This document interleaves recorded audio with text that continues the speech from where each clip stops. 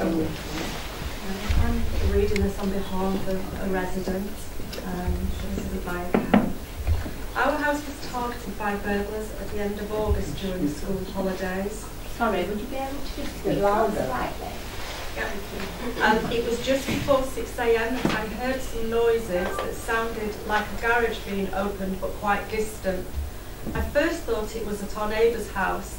The reason I believe we didn't hear as loud was because since a few friends' homes had been burgled just weeks before, we had been locking all doors downstairs before bedtime. As I walked downstairs to check where the noise was coming from, I heard a louder bang I ran upstairs, stopping at my son's room that gives a full view of the street. That's when me and my husband saw two men wearing black balaclavas getting into a white car that was parked right outside on the street in front of our house. My husband made a note of the car plate. As I first heard the noises and made my way downstairs, sure it was at my neighbour's, I made a contact with the Feel Safe group and someone promptly helped calling the police. I did not call the police at first as I was not sure what to do. Just after we saw them escaping, we called the police.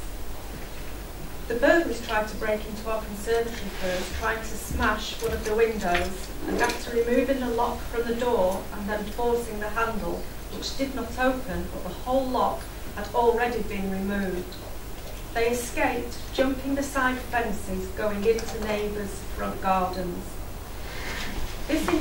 Left us shaking and feeling scared and uneasy at home as well as outside. We have a feeling they know who we are. We have always slept with our alarm on downstairs, but now we also lock all doors. We have got a new gates and higher fences. Our kids feel unsafe so unsafe too. One month after and still no one wants to be alone downstairs. They have their room keys ready on the door in case they need to lock themselves in.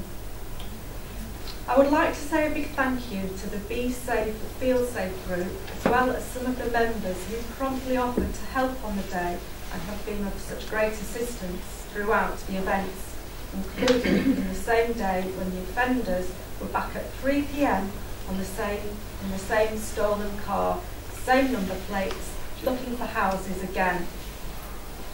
This time I phoned the police straight away. What surprises me is that the burglars were at, our area again, perhaps all day, for more than nine hours, looking at breaking into houses. The police had their number plate since 6 a.m. Thank you. Thank you.